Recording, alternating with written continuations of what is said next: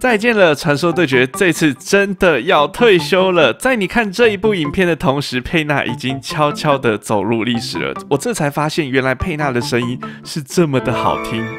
万物生灵，赐给我力量。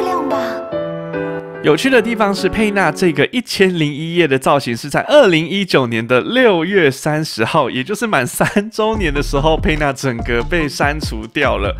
而且有趣的地方是，你知道佩纳是被谁给击杀的吗？对，就是维拉。而我今天在玩佩纳的最后一场五佩纳，我们就遇到了五个维拉哦。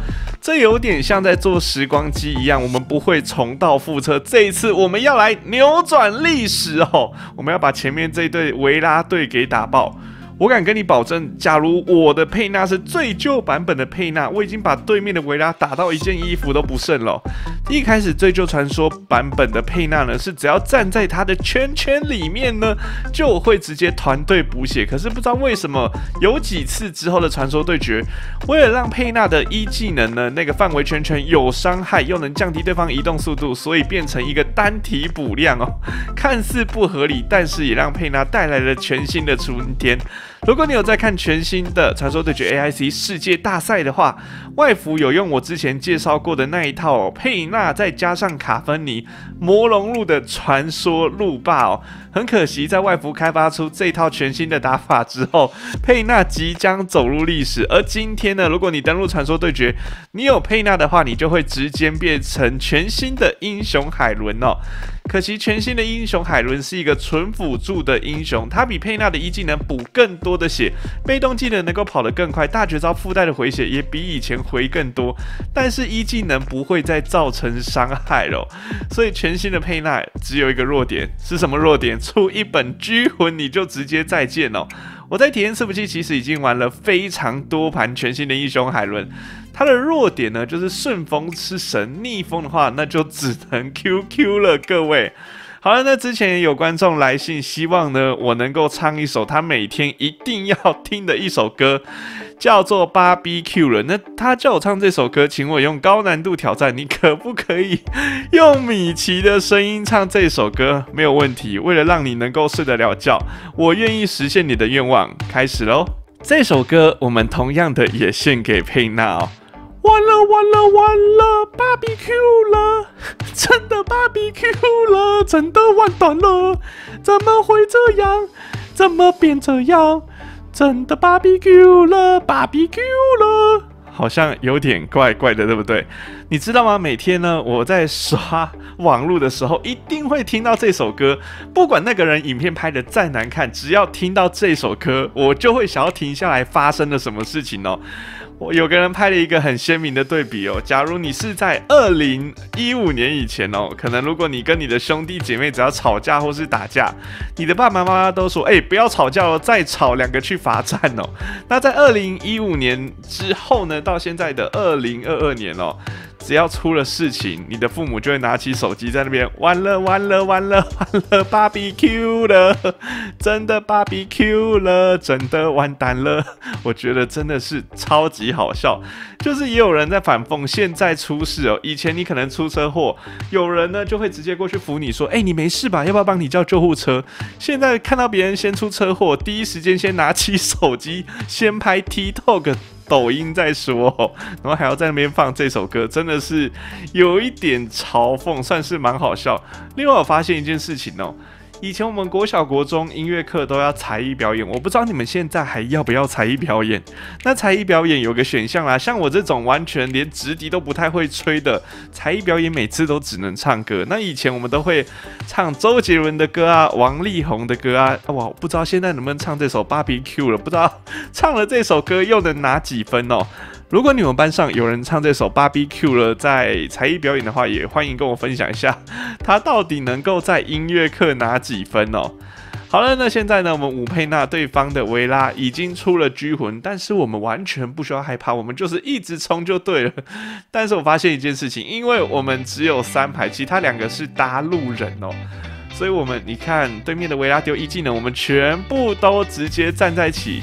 在昨天晚上我玩了两场，第一场就是这个五佩纳对上五个维拉，第二场我们还是遇到对面这组阵容同样的玩家，然后对面这次选了普雷塔，然后我们一样也是三排，结果我们的队友就在第二场快输的时候说选这什么破角色，哈哈，要输了吧？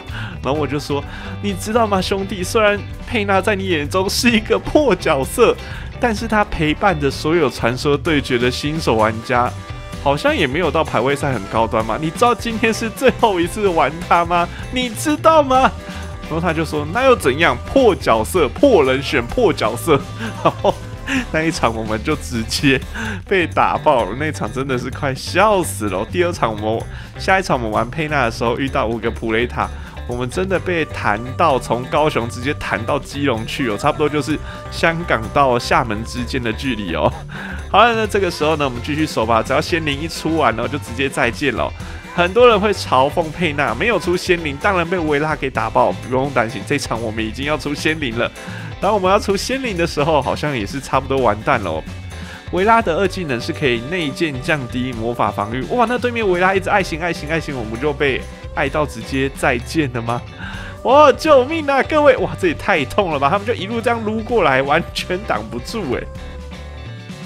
其实我们有暗藏一招，我们有出一个武力型的佩纳，就是近战型的佩纳，出近战的圣剑。可是不知道为什么装备还没出来，我们就已经 要被推到主堡了。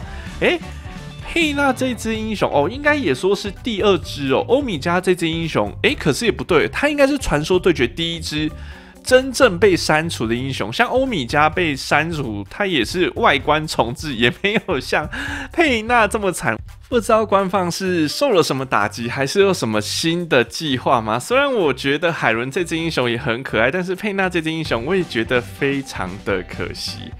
这究竟是怎么回事呢？各位，我知道现在有些人还在准备期末考。